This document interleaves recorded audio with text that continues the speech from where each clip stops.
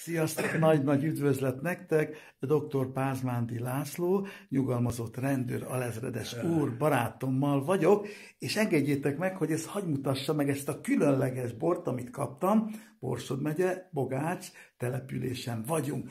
És akkor mit tartalmaz ez, kedves László barátom, ez a borocska, hogy ez az írás és minden?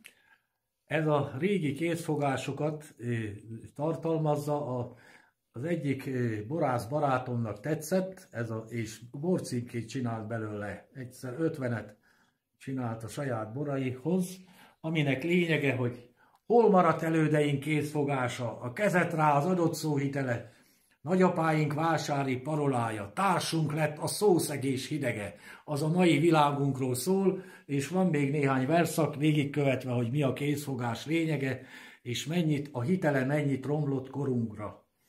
Köszönöm. Ennyi. Én is nagyon szépen köszönöm, Lacikám, neked, és ezt a verset majd föl fogom nektek legközelebb olvasni, nagyon tartalmas, és hát művész is, a, a drága kedves László barátom, aki egyébként uh, ima jogvédőnek mától tagja is. Igen. Sziasztok, legyetek tagjaink, 0635 27 31 60-as a telefonszámom, minden jót kívánok nektek, sziasztok!